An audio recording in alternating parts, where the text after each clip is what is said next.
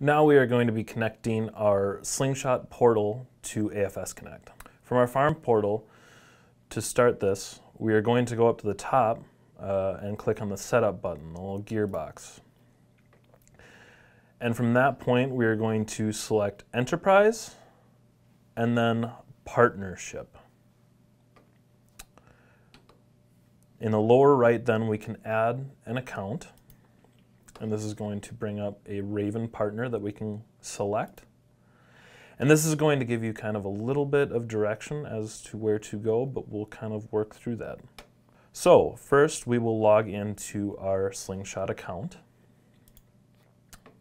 And from there on the main portal, we will go to Share and click on API and Data Access Control.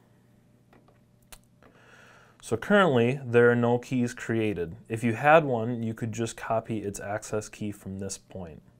But since we don't have one, we are going to create one. So we can type in AFS connect. And for a description, you can put whatever you'd like. So AFS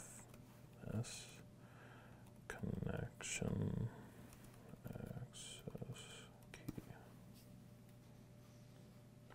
So then once we have our key name and description, we can click create and this will create our access key. So from that point, we can take the access key, highlight it, copy, and paste that into our AFS Connect portal. From there we can click Connect, and link was successful.